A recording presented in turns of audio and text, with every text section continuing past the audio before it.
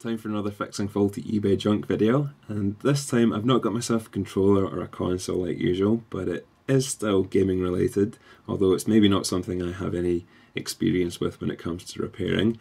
It's this thing here. It's a Sony PlayStation 3D display. These were released around 2012 by Sony, obviously, and I think they were marketed as sort of a a budget entry point into the, the 3D gaming market. Although these weren't very cheap to begin with, I think in the US they retailed for around $600. It's a 24 inch display, if you're wondering. Um, in the UK, they sold for £450, so definitely not a, a, cheap item to have. Um, and I'll get into some of its features in a moment, but I'll just show you how much I paid for this one. So I paid £31 and £15 postage. So £31, if you're wondering, is around 50 US dollars. Uh, so £46 in total if you include the shipping, that's around 75 US dollars, uh, just to give you an idea. So I'm really happy to get this for that price. It is faulty, of course, but I have a, a good idea of what might be wrong with it, and I'm hoping it's quite a straightforward fix. If I can get this working for that price, that would be that would be really really good. But I'll show you what is included with it. I just scroll down here, and uh, if you look here, it says you get the stand, the power supply, you get two 3D glasses with it, and he's also thrown in the remote, which he didn't originally get included with it, and a copy of Killzone 3. And he's already emailed me to say that he couldn't find the copy of Killzone 3, but he's thrown in, I think he said Gran Turismo or something instead. So, to be honest, I'm really not bothered. I'm more interested to see if I can get this thing up and running again. But from the small amount of research that I've done so far, it seems to me that all of these um, displays had a, a manufacturing defect, and it seems like Sony have been or were using um, some poor quality EPROMs. What ends up happening is they get corrupted and then the TV won't switch on, which is basically the same fault that this one is uh, described as having. If you look here, you can see the blue light comes on in the front, uh, and this, but the screen doesn't actually come on itself. And this kind of goes along with everything I've been reading online. So I'm hoping, and it, I could be totally wrong, and it could be something far worse that's wrong with it, and I'll not get it repaired. I'm hoping all I need to do here is order up a replacement EEPROM, get it soldered in, and then the TV should, in theory, work again. But uh, yeah, that's going to involve ordering some parts from either Canada or the US. Although that won't really matter to you much because I'm going to edit this whole video in and you'll see the process from beginning to end. But it's already arrived. I'll show you the box in a moment and I'll get it opened up and we can take a look at the the, the contents and see what we're dealing with. So this is it here and it turned up very quickly. It looks to have been packaged really well. It's in this huge big box and it's been pretty much encased in brown packing tape, which is always a good sign, means that the seller's taking his time to properly wrap it up. There's fragile stickers all over it as well. So yeah, so far so good. What I'll do is I'll, I won't give you the uh, the hassle of watching me trying to get into this thing. I'll just jump cut straight into what's actually inside this box.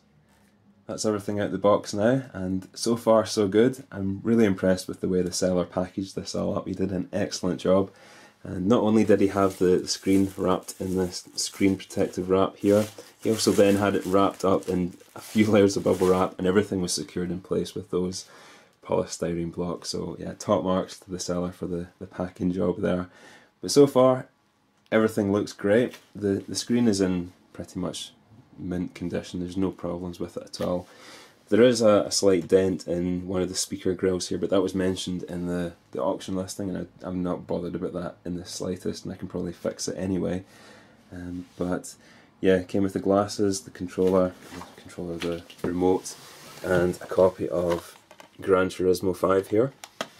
And what I thought at first was some scratches down the bottom here was actually the uh, the original protective film from the factory that's on the screen at the bottom. So yeah, overall and so far I'm very impressed with what I'm seeing.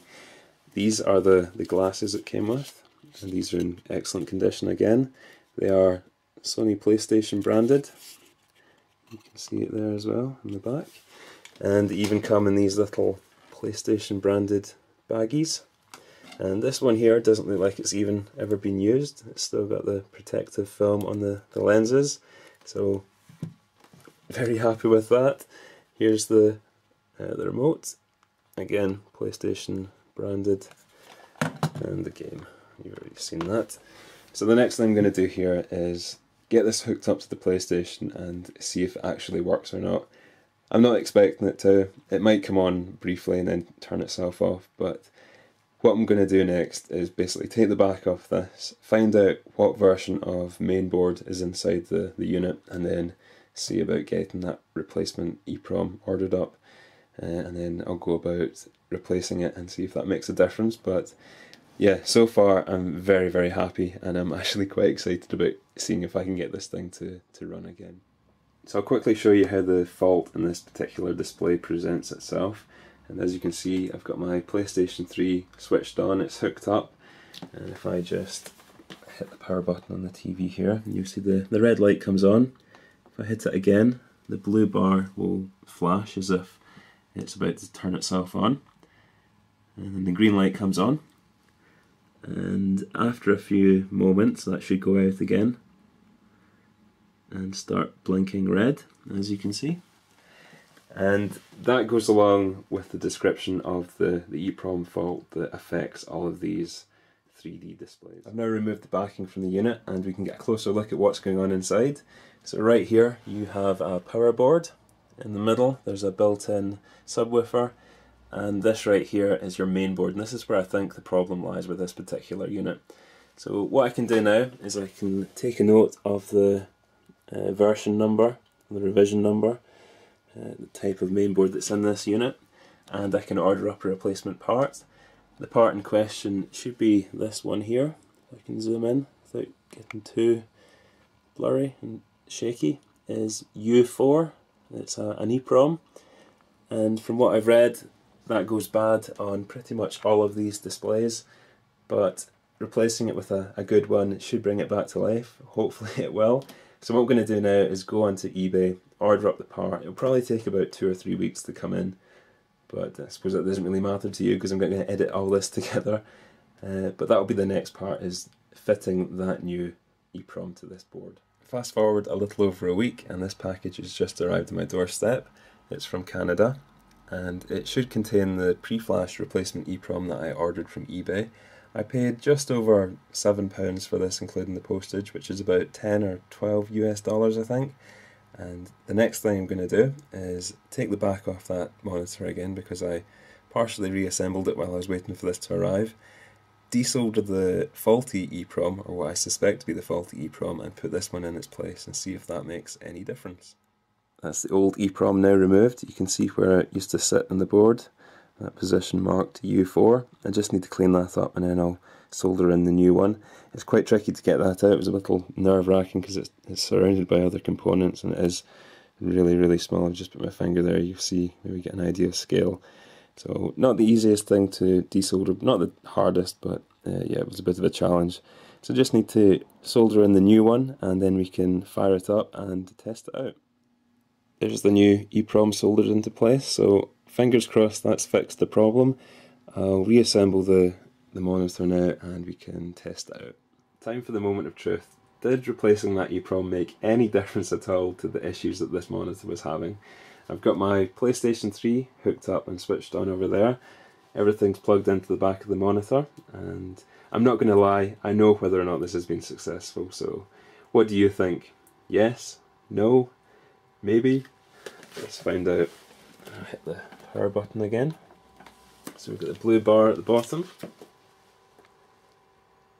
And as you can see, it works perfectly. And I've actually been playing this for the last 24 hours just to test it out, and it's completely flawless. There's no problems with it at all. The only thing that was wrong with it was, in fact, that dodgy EEPROM, and replacing it has basically brought it back to life. So I'm very, very happy. Um, it looks great and I'm probably going to be using this as my uh, main probably use it for my PC monitor and my main gaming display from now on. But for the price I paid for it, I paid £31 for the uh, the screen there with the uh, two pairs of 3D glasses, the game and the remote. £15 postage, so that's 46 and then you add on the extra £7 for the replacement EEPROM, so you're talking £53 all in, which you really cannot complain at that at all. I think I spent probably about 20 minutes doing the actual repair and the thing that took the most time would have been researching what was wrong with the TV.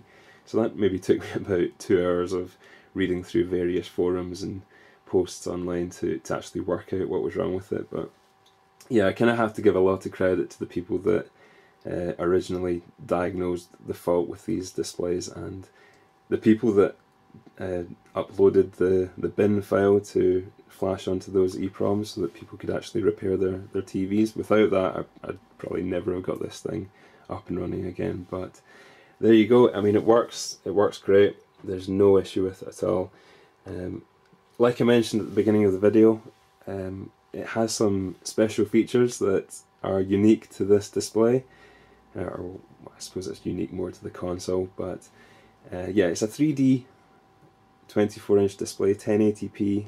They claim that it's 240 hertz uh, refresh rate, but I think it's actually that's more like a kind of marketing thing. It's really 120, and because it does this thing called SimulView or SimulView, uh, they kind of split it in two. But that is one of the main features of the the set is it can do SimulView, Simul View, and I won't bother going into too much detail about it here. I'll actually show you a demonstration of it at the end of this video. I'll just tack it onto the end. But it basically allows two people to watch the same screen and see completely different things while they're wearing the, the glasses. So very, very cool. Uh, but so far, I'm really enjoying the, the screen. The 3D works with Blu-ray and it works with games. So I've actually picked up a couple of games here already to test it out. I've been playing a lot of House of the Dead Overkill, which is a, a great game. I've got that for the Wii, but um, when you combine it with this thing here, which is the the official PlayStation gun with the the move controller and everything on it, it it's great. Just playing a, a an on-rail shooter in 3D is a uh, a very interesting experience to, to say the least. And then there's this game here, which is Killzone 3. Again, works in 3D, but when you add in this thing here, you can actually control the whole game using the uh, this gun. That uh, pointer thing of act, acts like a mouse, and then you use the uh, this part here to control your direction and everything. When you're wearing the 3D glasses and you're you're playing the game holding the gun at the screen, it, it totally immerses you in the, the experience, which is very cool. But anyway, I'm starting to ramble on.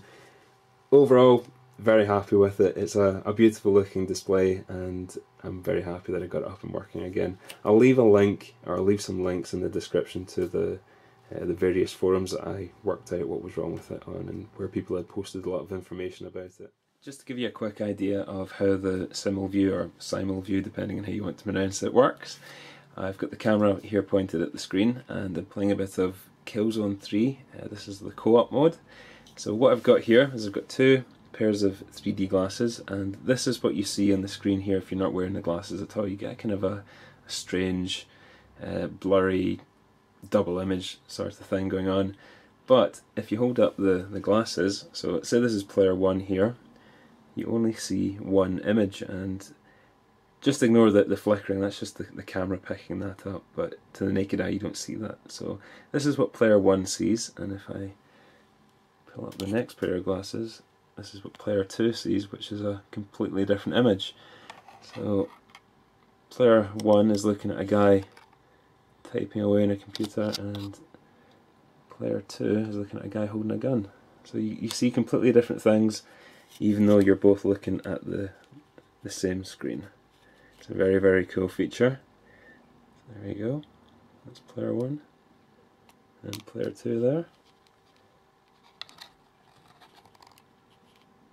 Just to give you an idea of how that works. And there's a few different games that support this. I think there's a, a few racing games and uh, like first person shooters as well. It works really well for that because obviously you're not going to have people watching your screen to see where you are on the map or what you're up to. you can both be sitting there watching the same screen and seeing completely different images.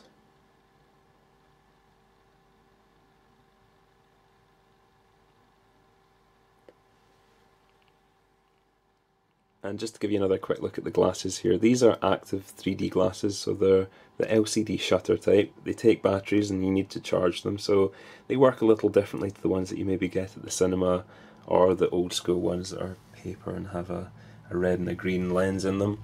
These you need to charge up, and there's a little charging port on the top there. It charges over USB. There's another on-off power button there, and then there's another switch on the inside for the, the battery on and off hidden in the, the leg. And like I mentioned before, these are all PlayStation branded, so they're very nice quality. You've got a nice big rubber piece on the nose there, nice and comfortable to wear. You can wear these over regular glasses as well if you want, which is nice.